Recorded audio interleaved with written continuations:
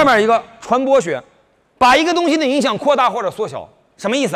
我网红，这传播学能明白吗？你像我这种人是希望把我影响给扩大的，但有的人希望把他影响缩小，谁呀、想一想谁呀、谁会希望把影响自己缩小啊？谁呀、啊？谁？罗志祥？不，罗志祥一定想把这影响放大。谁希望把它影响缩小？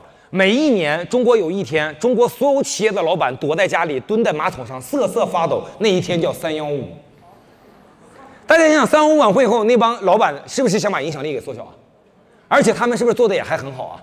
为什么？你还记得两年前三幺五都播过谁吗？你早忘了。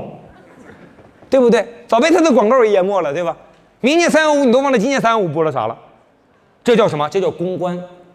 他们就想把影响力给它缩小，能明白吧？这叫公关。大家，我问你，你要想干这个行当，必须学这个专业吗？不一定吧？他几乎没有专业壁垒，大家发现了吗？